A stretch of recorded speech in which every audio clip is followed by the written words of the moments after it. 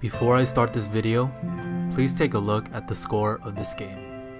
Let this serve as a lesson, a reminder to never give up and to never back down. Thank you for watching this video. So you've given up hope.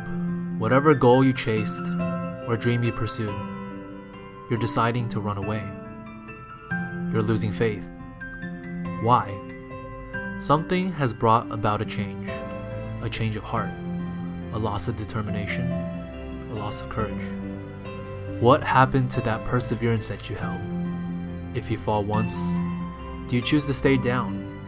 Or would you rather choose to stand back up? Do you have the dedication to stick to your dreams, the goals that you chase? What is the purpose of life if one failure leads to the inability to try again? If someone tries to put you down, will you accept it or will you prove them wrong? Failure is not the problem. Rather, failing to get back up is when one truly fails.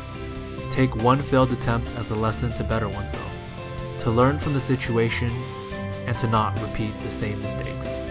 Simply saying, I give up, is not an option that you should even consider.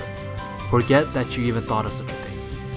Instead, stand back up and say, I believe, and I will accomplish. Thank you guys for listening to another poetic message and for watching this epic all or nothing comeback gameplay.